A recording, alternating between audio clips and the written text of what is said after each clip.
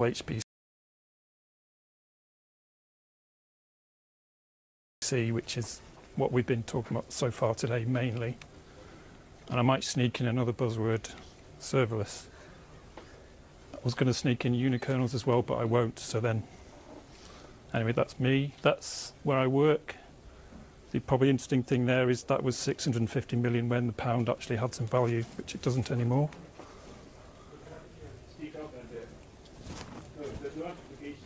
Yeah, okay.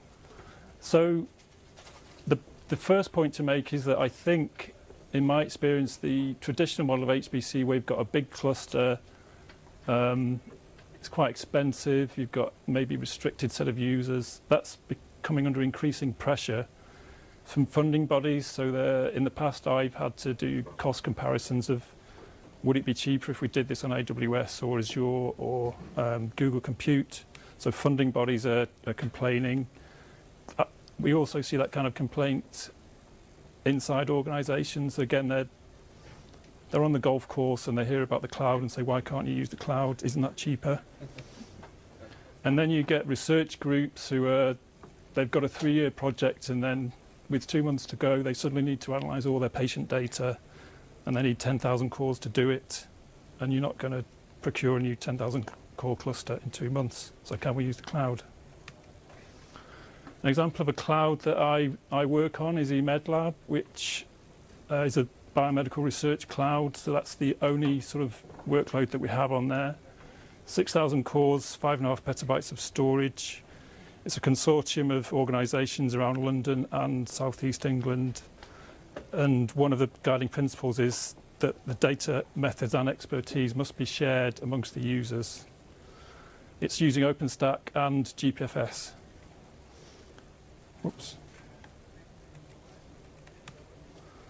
So GPFS is a very traditional sort of fast file system that you would find in lots of HPC clusters along with Lustre.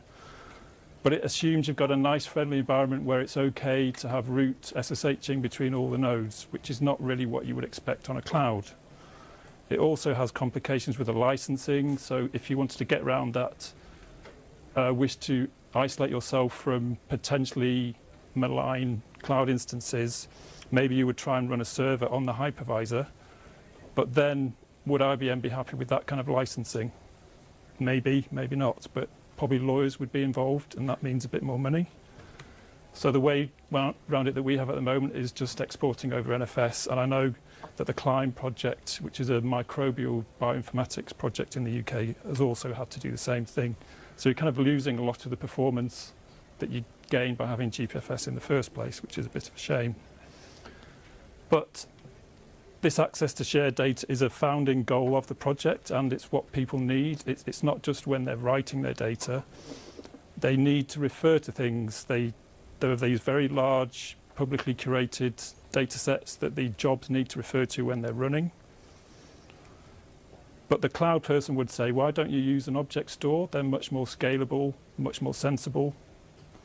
But if you can find bioinformatics code that supports objects, then I'll be very happy. They don't really exist. An example that I worked with is an 800 terabyte data set from TCGC, which is the Cancer Genome Consortium. So this is, because it become, comes from patients, you have to apply for access to the data. Um, so we have to be extra careful on who within the project can see it.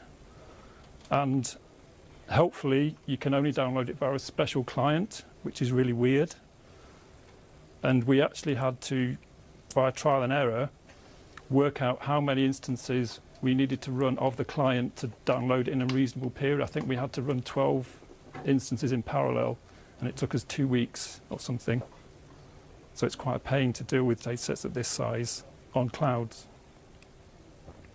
So when you've got your data, what are you going to do with it? What we've found is people want to run virtual clusters. That's what they're used to.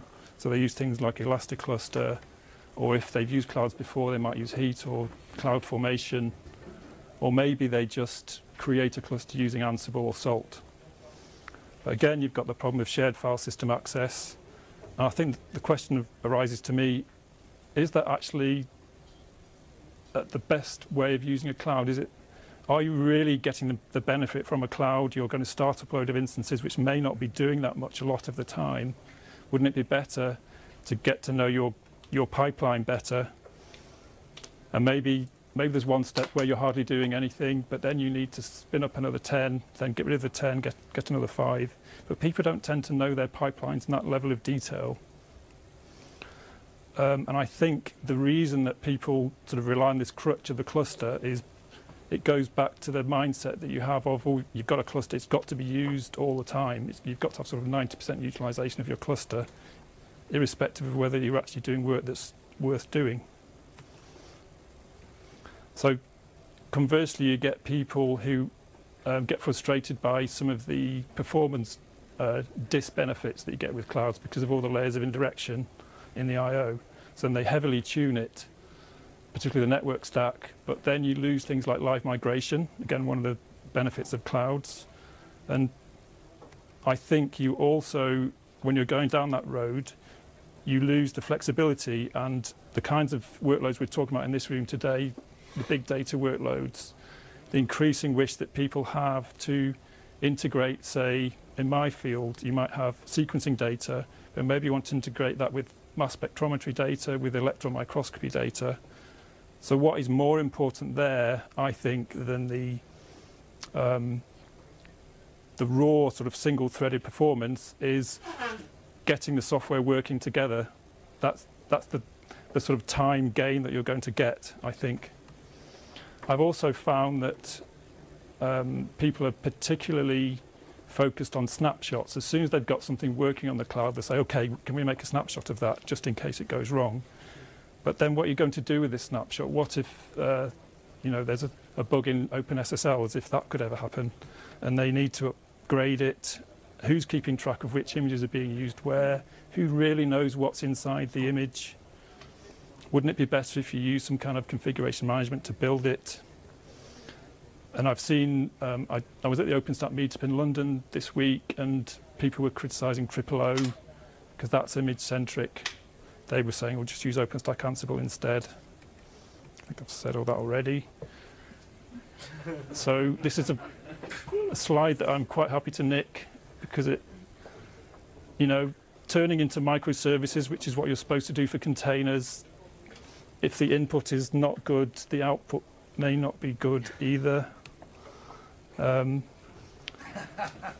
so I think that I think it's very good that we in this community look outside ourselves for fertile ideas, but bear in mind that the mindset that people have in these startups in Shoreditch and the constraints they have is very different from what we have in the scientific community. Um, how mature is the support for scientific applications in containers? I mean, Singularity and Shift are very good projects, but um, with things like the Docker file and the Singularity files, are they really great formats for describing what you need? Maybe, maybe not. And aren't containers a bit rubbish anyway because you still need to run a server and who wants to do that?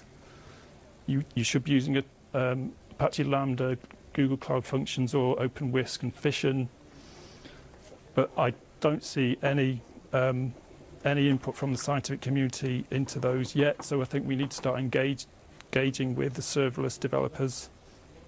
And as a counterexample to all that doom and gloom, um, when I, in my previous job um, at Imperial College, when I was working on the CMS experiment, when they had cloud resources, because they had a very mature environment, that's, oh, that's nice, we've got 13,000 cores, we can use those, because they've already got all the tools to move data around, to keep track of what data is where. They've already got accounting tools so they know which users are running what.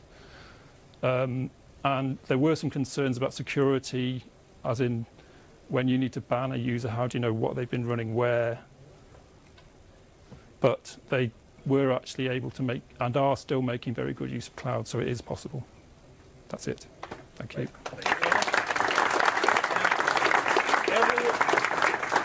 every lightning talk gets one question. So one question, and the lucky winner gets picked by the speaker. So any questions? Just uh, there's a very good O'Reilly book called Infrastructure as Code. It's probably on the stand outside. And the guy who wrote that makes the same point. When virtual machines came along, it actually made system admin's life more difficult because there are thousands of specialist vir- VMs to keep track of, and, and yeah, they, they say you should be going towards uh, reproducible. So Yeah. that's cool.